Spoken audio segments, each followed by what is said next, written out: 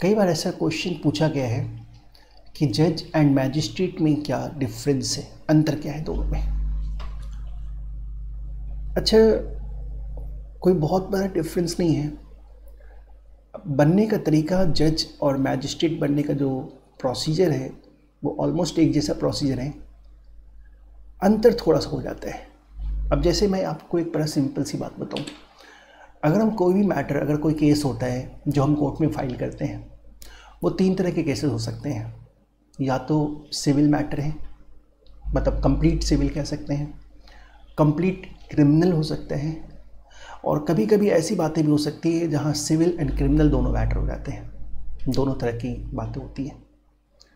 अगर हम सिविल कहते हैं तो सिविल मैटर को सेक्शन नाइन ऑफ़ सीपीसी में डिफ़ाइन किया गया है। और कहता है कि भाई, जहाँ पे राइट्स ऑब्लिगेशंस ऑफ़िस प्रॉपर्टीज़ इन सब की इन्वॉलमेंट हो तो हम कहते हैं वो मैटर बिल्कुल सिविल मैटर है। जैसे फॉर एग्जांपल पेटेंट का केस कॉपीराइट का केस ट्रेडमार्क का केस मतलब ऐसे जितने भी मैटर्स हैं, हम इन सबको कहते हैं, भाई, ये सारे मैटर जो है वो सिविल मैटर है। दूसरी बात, हम कहते हैं क्रिमिनल मैटर और क्रिमिनल मैटर्स की अगर हम बात करते हैं तो क्रिमिनल मैटर हमेशा सेशन कोर्ट में जाएगा। और क्रिमिनल मैटर जहाँ पे पनिशमेंट की मांग की गई हो मतलब अगर हमारा प्री कोर्ट से पनिशमेंट दिलवाने का है एक्यूज को तो हम कहते हैं ये मैटर जो है, वो क्रिमिनल मैटर है। अच्छा कभी कभी एक केस में दोनों तरह के मैटर्स भी होते हैं। जैसे फॉर एग्जांपल एक पर्सन दूसरे पर्सन के घर को कब्जा किया नेचुरल सी बात है, वहाँ प्रॉफिट बनाया और अभी भी अपनी पोजीशन में रखा हुआ है।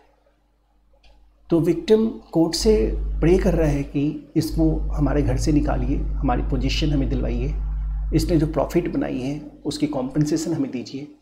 अपार्ट फ्रॉम डैट जो इसने मेरे घर को इलीगली पोजेस्ट करके रखा था, उसके लिए इसको पनिश भी कीजिए। तो देखिए, यहाँ पे दोनों तरह के मैटर आ जाते हैं दोनों बातें हो गई। क्रिमिनल भी हमारा सिचुएशन आ गया और सिविल भी आ गया।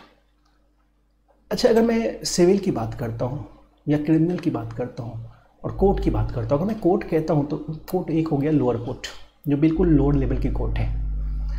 और उसके ऊपर जाएँगे तो हमारी डिस्ट्रिक्ट कोर्ट होगी जो एक डिस्ट्रिक्ट में सबसे बड़ी कोर्ट होती है।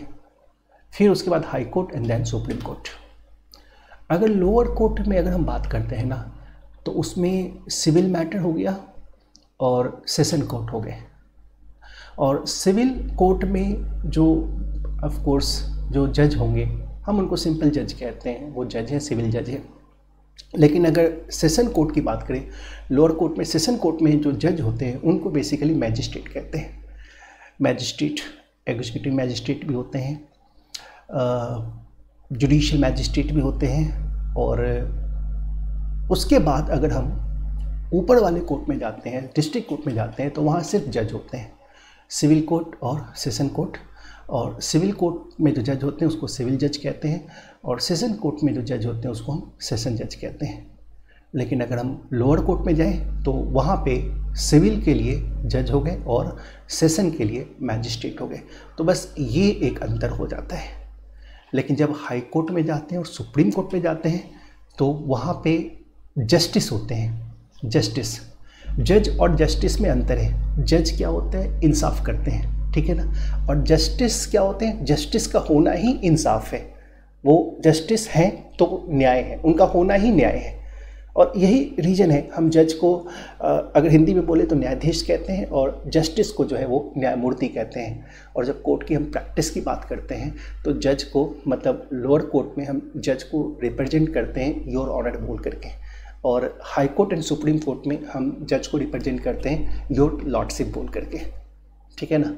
तो ऐसी लीगल नॉलेज की जानकारी लेते रहने के लिए आप हमारे यूट्यूब चैनल को फटाफट सब्सक्राइब कीजिए और और भी अगर कोई आपको नॉलेज चाहिए तो आप हमको मेल कीजिए और चैनल को सब्सक्राइब करके रखिए। टाइम टू टाइम आपको ऐसे लीगल इन्फॉर्मेशन श्योरली आती रहेगी। Thank you